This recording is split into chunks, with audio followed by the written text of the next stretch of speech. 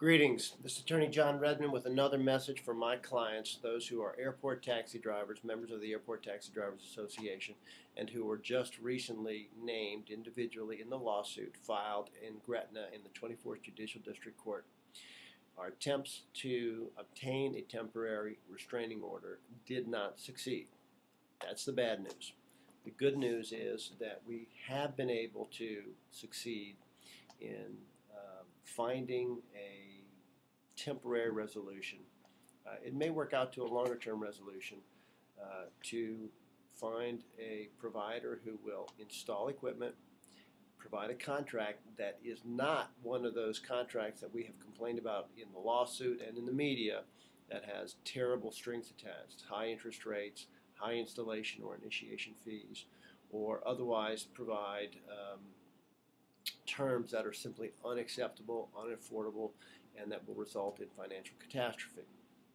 Um, Taxi Magic, a representative of Taxi Magic, has agreed to uh, provide terms that are simply way more acceptable.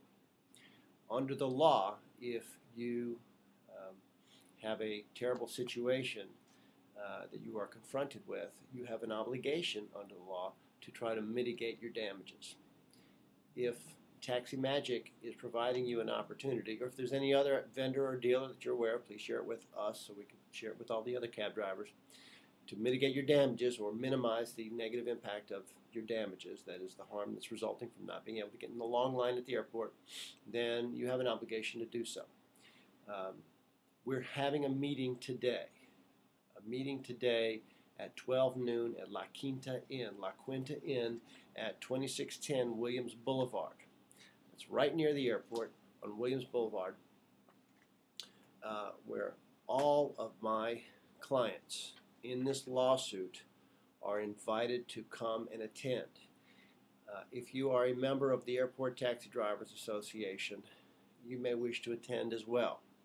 At this meeting, we will discuss the status, where we are, and what the options are. We will also discuss with you what are the terms of the possible deal with uh, Taxi Magic and the ability to get um, a loan, a virtually guaranteed loan, unless you have a judgment outstanding for child support or you have some lien against you, judgment against you. There's only one or two uh, things that prevent you from getting financing, but you just just my clients in the lawsuit um, are, go, are going to have this special deal, special arrangement, so you don't have to come out of pocket to get this um, uh, this deal with Taxi Magic, rather than all these other people who have to come out of pocket hundreds, thousands of dollars, and you today, today can get the documentation to go get your temporary decal to go work the long lines at the airport. Today is January 24th, 2013. If you see this message after today, call my office. The number is on the screen. Um, also, go to taxicase.com and you can get the information. You should have received a link so you can see this video. Or you can go to the taxicase.com and you should be able to uh, access the same information or call Redmann Law, Law Officer John Redmann, and we will share this information with you. But if you come to the meeting at La Quinta today at noon, noon today, 2610 Williams Boulevard, we will be there to answer all your questions about the lawsuit, what rights remain.